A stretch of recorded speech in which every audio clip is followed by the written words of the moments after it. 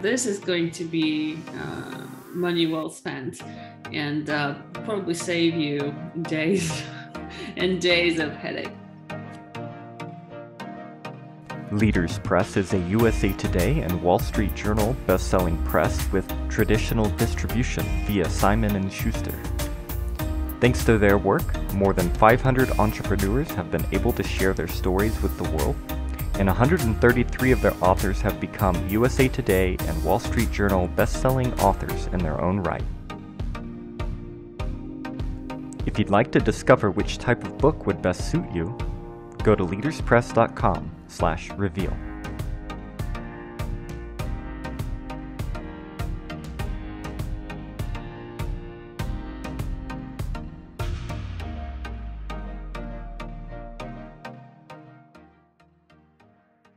Welcome to the Leaders Get Published podcast. I'm Alinka Rutkowska, CEO of Leaders Press, and together with me is Deborah Brannon, our COO. And today we will be talking about how to publish an ebook, all the steps you need to know to be able to do that. So, Deborah, how do you publish an ebook? I guess it's just hit publish on KDP, or do we need to go through any more steps? I mean, yeah, that's it. You just throw your just throw your PDF on Amazon KDP and you're done. You just hit publish and walk away and it's magical. Okay, now there is a little bit more to it than that. And we're just going to go through uh, a few steps that will help you present the best ebook and publish the best ebook that you can. Um, they're pretty straightforward. They're just a few, you know, uh, best practices and good tips that we can give you to help you make the best of each step of the way.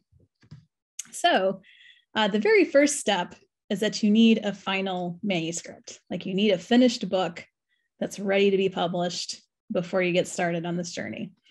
So we recommend, obviously, that you finish your book, you revise your book, you send your book to an editor that's not you, because uh, you mm-hmm. want a different pair of eyes.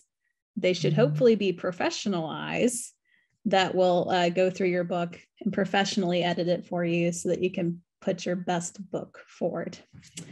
Uh, so once you have finished the editing process, uh, you've gotten a professional edit job done, the book is complete, it's ready to go.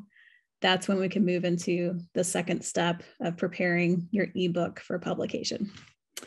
All right, so next, now that you've gotten your finalized book, you want to work on that book description. So, a great book description is what's going to attract new readers, hook them, and inspire them to buy. And uh, actually, Alinka is a master at this. So I'm going to get her to, to give us a little quick insight into how to put together a great book description. And we'll talk about what it can do for you if you get it right. Awesome. Yes, we like to use the Gary Halbert technique um, that he used to use for copywriting. And uh, actually, if you go to, Gar- to the Gary Halbert letter.com, you, you will find it. It's called the AIDA principle. And AIDA stands for attention, interest, desire, action. We use this not only to write our copy swipe for any emails or uh, whenever we do any type of marketing for the business for, for our authors, we also use it for descriptions. So the attention is basically the headline um, you could be as obvious as saying, attention entrepreneurs. Um, and then you could say, are you making these nine deadly mistakes? So that is the interest. You're starting to get into the interest part. And uh, you basically uh, want to write sentences so that each sentence makes you want to read the upcoming sentence. So the job of the first sentence is for the reader to read the second sentence. The job of the second sentence is for the reader to read the third sentence and so on. So after you get people's attention, you want to get their interest. So you have to keep reading. If they're already interested, then you want to build up their desire.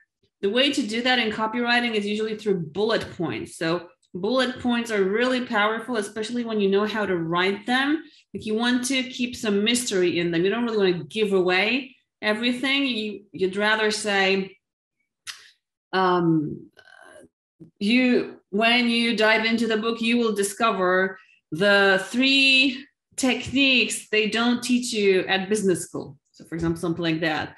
Or um, uh, the five mistakes um, 95% of entrepreneurs have admitted they made. Things like that that are true of course but you basically want to get people's desire to actually go get the book. And then comes the final a in the aida framework which is action. And take action could be you know as in your face as buy the cop buy your copy now or you could be more subtle and say uh, dive in now to um, discover how to grow your business this year. So something like that. There has to be a call to action. So it's attention interest desire action. And when you go to any leaders press book on, on amazon you will find that all our descriptions are written this way yeah it works especially well for nonfiction which is of course what we specialize in publishing um, so Alinka is definitely right. You know, look up any of our books on Amazon to check out examples of how we we use these successfully to attract new readers and grab their interest and get them to buy. Um, so, like your book description is one of the first big important parts of metadata that you'll put together for publishing your ebook on a platform like Amazon. Uh, the next big piece that you need to get right is your book cover. So uh, I know everyone says don't judge a book by its cover, but everybody first judges a book by its cover. like you need something interesting and attractive that will grab someone's eye and make them take a second look at the book and get to that great book description we just mentioned, uh, and then you know take action and buy your book. So um, one of the ways that we like to develop our great book covers is number one, we work with a professional graphic designer and I know that sounds scary and expensive, but it's really not, uh, especially in today's world uh, with such a huge marketplace online. I mean, you can even go to like sites like Fiverr, uh, has like a huge community of artists who do graphic design for book covers. Um, there are a variety of sites where you can source a great graphic designer to help you out. So that's a, a great first step. So make sure you work with a professional. Uh, and after that, to kind of conceptualize what an attractive cover would look like for you, we like to look at the uh, the categories where we think our book would best fit, see which books are performing the best right now, and just take a look at their covers. Like what colors are they using? Uh, are they like mainly fonts? So it's just like large words and attractive type? Or are they using pictures? What kind of pictures? Are they using pictures of people like the author? Or are they using some kind of like provocative imagery that's related to the topic? So you just want to look for these commonalities in the best performing books. And then you just want to see what's attractive to you too. Like what makes you sing? What makes you excited for your book cover? And you can make a list of these things and your preferences. And then you can share that with the graphic designer that you you chose and uh, get some potentials and then choose the best book cover for you. And uh, Alinka, would you suggest maybe they like poll their friends or colleagues when they're trying to choose the best book cover? That is an option, um, but just depending on how tech tech tech you are, how tech savvy you are, uh, you can enhance that um, exercise. So, for example, just like you do like split testing or A B testing for ads, you could do that for your cover. So, for example, you could have um, two different ads on Facebook or even more and have them all go to the same landing page where people can download your book, maybe the without the cover. So uh, this way, you're able to see which cover that you have on the Facebook ad is getting the largest uh, percentage of uh, clicks, and uh, that will show you, you know, which people are actually interested in. Because you know you can poll your friends, but I've studied statistics university. It was really tough, but I learned something about sample size, so that if it's not large enough, it's not a statistically significant experiment. Um, so you should have some statistic, you know, statistically significant numbers. uh, we did we have developed an eye for these types of things so we're actually able to tell you know this cover will fly this cover will not. Like if you look like if you look at a lot of best-selling covers which we do every day you're to start to see patterns. And you'll be able to tell when you get it from the graphic designer you're, uh, you're able to tell that this looks just like the best-selling covers that are that have been performing very well in this category. But if you don't have that type of um, um, experience or support from a professional team, then doing A/B testing is um, is a good idea. And then you know you can of course poll your friends, um, but that can become tricky. I would definitely wouldn't show my manuscript to to anybody because um, you know who's not a professional because uh, that will just um, basically uh, make your book a never-ending story. So you'll never end uh, you will never be done with it. And you do want to be done with it at a certain point. You abandon that work you finalize it you publish it you market it and then you start your next book. I think there's a quote out there that says something like a book is never finished it's just abandoned. Yeah. um, so you just get to the point where you're like you got to call it good you got to get it published and I mean, you're absolutely right. The more friends that you ask for feedback on your manuscript, the more contradictory advice you get. And it can just lead to, like she said, a never ending circle of just uh, changes and changing it back and never being done. And you don't want to get into that mess. Yeah, I mean, they want to be helpful, right? They want to give some sort of feedback. Otherwise, it seems like they don't care. But also, they should just write their own books. yeah. Um, so Alinka, for the A/B testing, like if they were testing two covers, would it be useful to do that for as like part of a pre-order campaign? Um, so that that way, when you do the actual launch, you've got your final cover chosen. Like, would that be effective? I would do it before it goes on pre-order. So, like, we create these uh, landing pages for advanced reviewers, and that's a good moment to test it. So, for example, two landing pages for advanced reviewers uh, with two different covers, the exact same text, and see which one gets more a higher percentage of downloads. Higher great idea. So they're promoting like an advanced review copy of the book, which will hopefully net them some early reviews while also testing which book cover uh, performs the best. That's great. Yeah, I mean, you want to be testing already good looking covers you don't want to be testing, you know, two terrible five dollar covers you got on Fiverr. Maybe you were lucky, and you know you have a New York Times, your USA Today best-selling cover for five bucks off of Fiverr. Can't happen.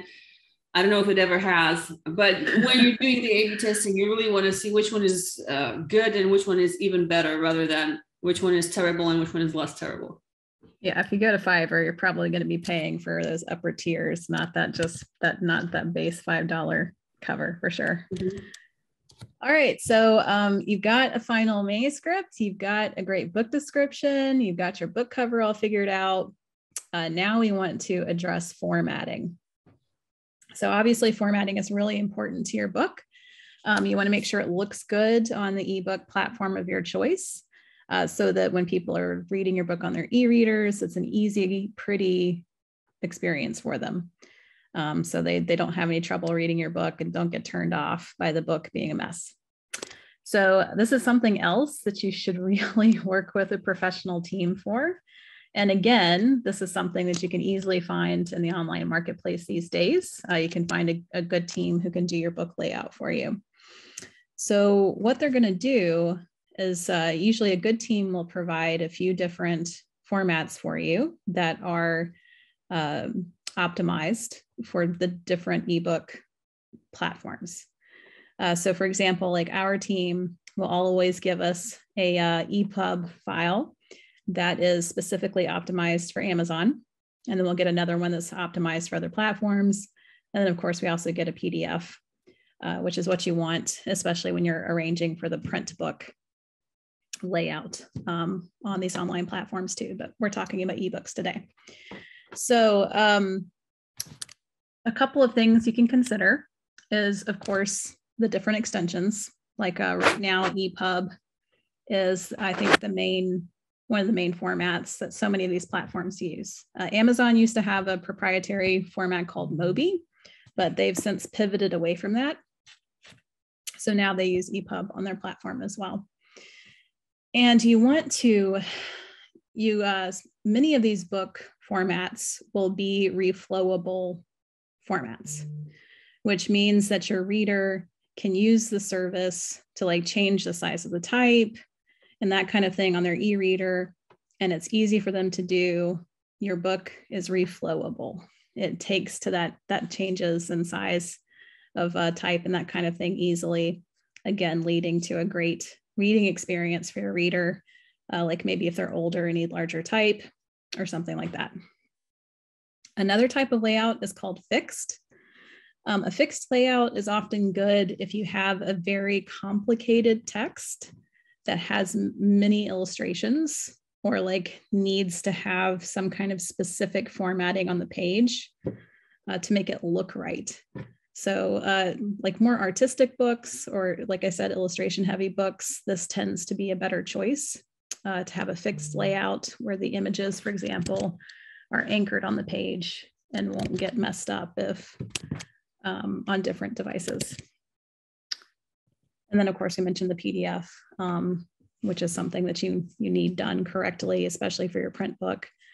And uh, usually the PDF will be done first to make sure that you approve of it, approve of the, um, the font choices, the layout, and then your team will convert to ebook, which is when they'll, they'll make it either reflowable or fixed and, you know, set all the the relevant data for the various ebook platforms. And like I said, get that done by a professional. You'll really love saving the time. It's not that costly. Um, many of these teams will have a, a per page price. Um, but I think that I think that many of them are like less than a dollar a page. Does that sound right, Alinka? Mm, yeah, without illustrations. Yeah. It might depend on the volume, like how many pages you're having done in the job. And yeah, I think like, that's about right. And yeah. yeah. I definitely want to. You want to get that uh, outsourced. It's something. Um, I know one author who does it themselves for, for for for his books, but I I you know you can't be a one man or one person band and if there's anything that you'd like to get started with, like this, I think is it. Just like you can't edit your book, you really don't want to be formatting your book and learning all the tech and stuff. Uh, I think it's your time is much better spent uh, doing some marketing or um, just reaching out to people who can help you market your book or even writing your next book than than doing this. So this is going to be uh, money well spent and uh, probably save you days and days of headache. Yeah in my past uh, a long time ago when i had private clients i would help them publish their books for example on kdp and i have done the formatting thing before and it is such a pain um, just trying to make sure every little detail is right. And every time you feel like you're done, you know, when you're an amateur, when this is not something um, that you do professionally, uh, you always find something else that you need to to change or adjust. So uh, when you think about the cost of outsourcing your formatting, also think about the cost of your time. And you'll quickly realize that the investment is really worth it to save you the time that you would have to spend trying to do this yourself. So we, we really recommend that. Mm. Um, okay, so the next thing we wanted to talk about was metadata.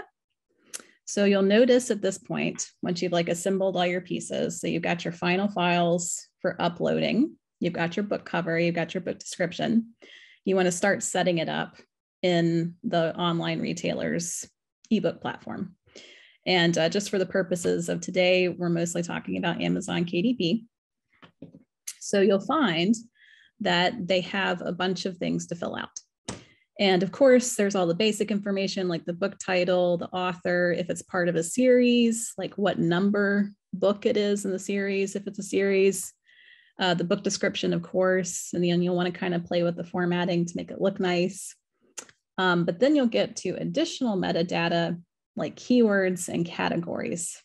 And you want to be careful and deliberate with your choices here as well. So um, for the keywords, you want to choose keywords that don't appear in your book title or your book description uh, because you've already used those two pieces of real estate to incorporate keywords. So you want to take advantage of the extra keyword section to choose things that are still relevant to your book, but that you haven't already covered. Um, we often recommend using a tool like um, Publisher Rocket, which will let you search out keywords. So you just have like a big brainstorming session. Just try to think of everything that's possibly related to your book. And then you can search for those terms in a tool like Publisher Rocket, and it'll give you some insight into how these books are, or, I'm sorry, how these keywords are performing on Amazon. Um, so of course, you know, they don't have like the, the actual numbers behind the scenes because Amazon protects that information. They don't share it. You can't get it. But through their experience, and I'm, I'm speaking specifically of Publisher Rocket, uh, through their experience, you know, they've got some aggregate data that helps them look at how these keywords perform. So you can get some insight into like how much, uh, what is it, Alinka? It's like what the rankings are for the keywords. Yeah, like how, how much, much, competition there is, how much uh, these books are most probably making in terms of royalties, how, you know, how difficult it is to rank for it so there's a lot of information that you can use, and you basically want a keyword that will um, bring in the highest possible uh, royalty, but that is also relatively easy to rank for. Exactly. It's a tension. Like you want to maintain the best tension between popularity and and uh, how much you could possibly make off of it. So to get into that sweet spot where, where it will perform the best for you. Um, and it's the same thing with categories. So, of course, um, there are probably some main categories you have in mind for your book, uh, but you also want to be clever about the way that you choose your categories. So, you can choose a couple that are highly competitive, but that you really want your book to be in. But uh, Amazon will let you have a total of 10 categories for your book. And we recommend that you use at least eight of those and really targeted categories that will help your book stand out and perform best. And again, a tool like Publisher Rocket will let you search out these subcategories and see okay, well, how many book sales maybe do I need to get to rank in this category? And uh, like how popular is this category and that kind of thing. So you can kind of poke around Amazon, just like explore the subcategories till you find some that seem relevant to your book. Uh, and then you can go to Publisher Rocket and look that category up and see if it's a, a, solid one for you to choose to maximize the performance of your book and to get into that bestseller status if that's your goal. So those are the two big pieces of metadata that you just want to, to focus on and make sure you optimize so that your book will perform its best. And you do that when you're setting up the book behind the scenes on the, the ebook platform. So at this point, you also have to make a decision about the price point. Like how much are you going to, to charge for this? And again, there's a, a tension here that you want to maintain between an attractive price point that invites people to buy your book and then like the best royalty you can get for your book so that you can maximize earnings. And mm. Amazon uh, specifically, like they incentivize a specific price range for their ebooks. Like you'll notice that if you price your ebook between 299 and 999 US, they'll give you 70% royalty rate on your book. But if you go below that or above that, the royalty rates drop to 35%. So big incentive there to keep your, your ebook price between the, those two price points. Uh, so that's great. You know, we most of our books are priced in between that. And that's what we encourage our readers, or I'm sorry, our clients to do. But we also see the benefit of launching books at 99 cents. At 99 cents is an impulse buy. Like when you first launch your book, you want to get readers in, you want to inspire those readers to review, you want to get as many purchases as possible. Only getting a 35% royalty rate is worth it to uh, to get that early swell of purchases. And so we will usually keep it at 99 cents for the first couple months before we start raising the price until we find that sweet spot that's between 299 and 999 um, for for clients. Yeah, did you have anything to interject about pricing, Alinka? Yeah, it's the law of supply and demand. You know, the lower the price, the higher the volume, which is what you want when you're launching the book, as many copies sold as possible, especially if you're going after some big lists. And um, it also is a really good strategy for the Amazon algorithms to notice the book and start showing it in various categories, different places, also boughts. Also, boughts are when people are looking at a book and it says people, uh, customers have also bought these here. So you want your book there. The more people buy your book, the in more uh, the more you know pages you'll be on in those also boughts uh, so that makes a lot of sense. And there's another strategy that you might want to be interested in, which is permanently free ebook. So you might want to price it at zero, um, which you can't officially on Amazon, but if you price it at zero on other platforms and then tell Amazon to price match, they will. And uh, why would you do that? Well, maybe because you are a business or an entrepreneur and you have a funnel on the back end and you just want as many people as possible to get your book, click through and go um, sign up for whatever you're offering. So that's another strategy. And we have done it all with our books. Like we have permanently free ebooks that have been performing extremely well and bringing in a lot of um, revenue on the back end. We've been doing 99 cent launches that have got our books on USA Today, Wall Street Journal bestseller list, and we've been also maximizing royalties for authors interested in, uh, in, in that part of the revenue that you can get from your book.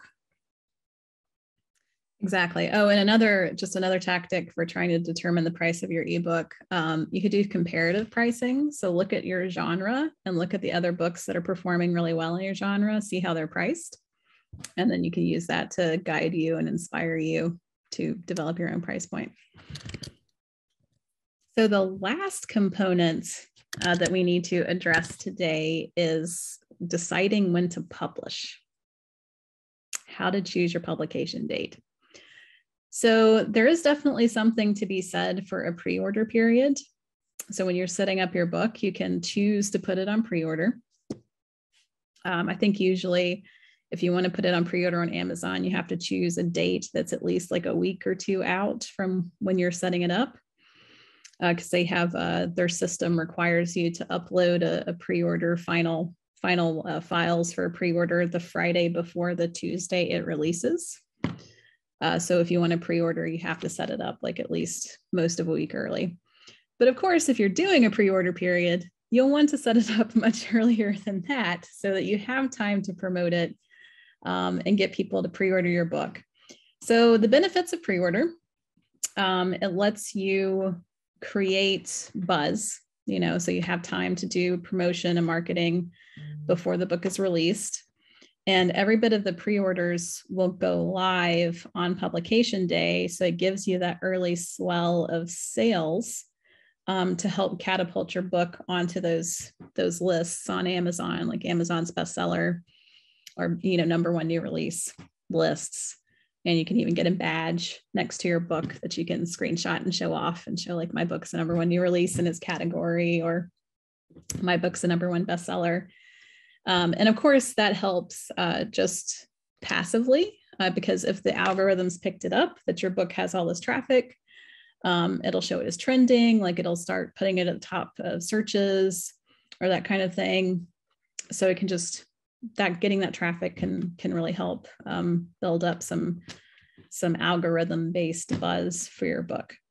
Uh, but a critical part of your pre-order campaign is going to be an actual campaign. Like you need to actually spread the word. You need to have a likely a marketing budget where you can spend on, for example, Facebook ads that Alinka mentioned earlier. Um, and you know, you can get very specific with these things and set a very specific budget to make sure your ad doesn't go over that. Uh, so there are ways to do this on a budget so you don't break the bank when you're trying to to run this pre-order campaign. You just need to be very clear about what your budget is, set things up appropriately, and then run them to generate that buzz. Um, Alinka, what are your best practices for doing promotion during a pre-order period?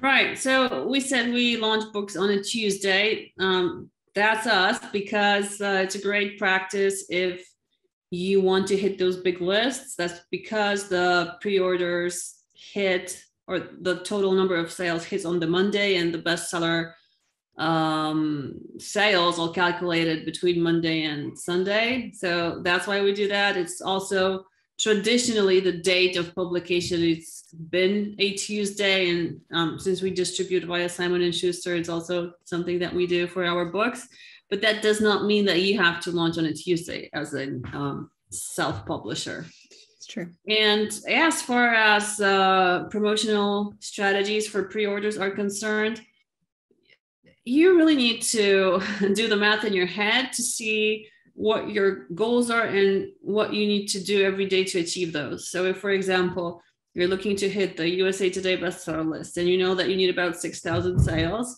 then you want to divide those 6,000 sales by the number of days you have in your pre-order campaign. And you can have a one year pre-order campaign right now. So you divide 6,000 divided by 300, and then um, you, here you see how many books you need to um, sell every day and you can track your progress.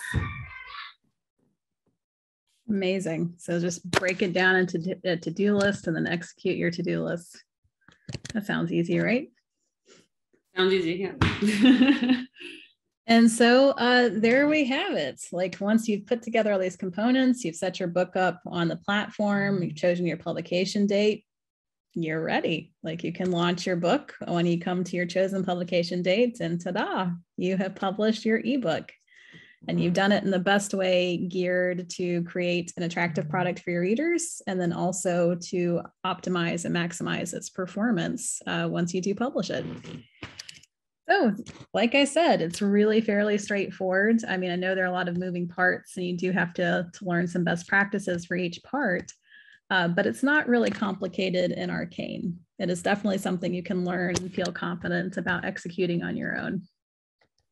Amazing. Yes. And after you've done your ebook, or maybe during that process, you probably want a paperback and an audiobook and maybe something else. Uh, but this is something that we discuss in other episodes of yes. Leaders Get Published. Thank you for listening. This has been the Leaders Get Published podcast, brought to you by Leaders Press.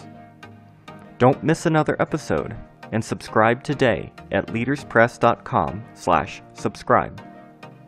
And if you'd like to discover which type of book you should write, go to leaderspress.com/reveal.